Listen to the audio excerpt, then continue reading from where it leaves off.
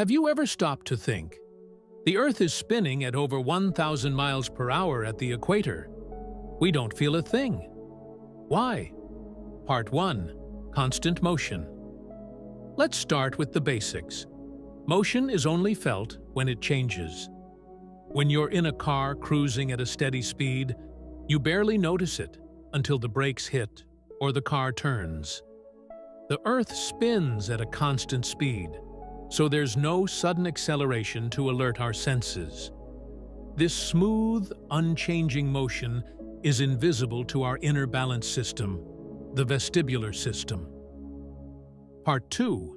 Gravity's Grip But what about the spinning force? Shouldn't it throw us off the planet? Actually, gravity is far stronger.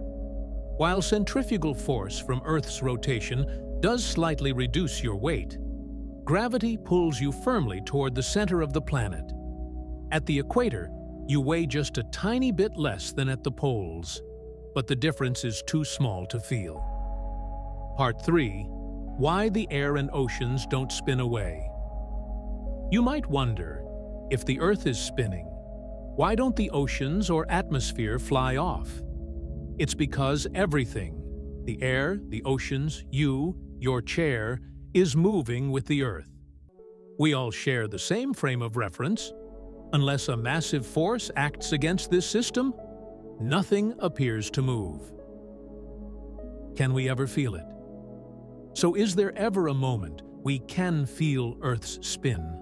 Not directly, but indirectly, yes. The Foucault pendulum, for example, proves Earth's rotation using simple physics. And the Coriolis effect, which makes storms spin in different directions in each hemisphere, is also due to Earth's spin.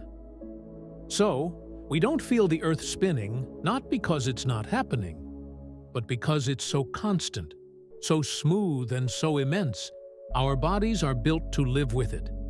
It shapes our weather, our time, our very perception of day and night. Invisible, yes, but deeply powerful. Still curious about everyday science questions like this? Hit like, subscribe, and stick around. The world spins fast, but we'll slow it down for you.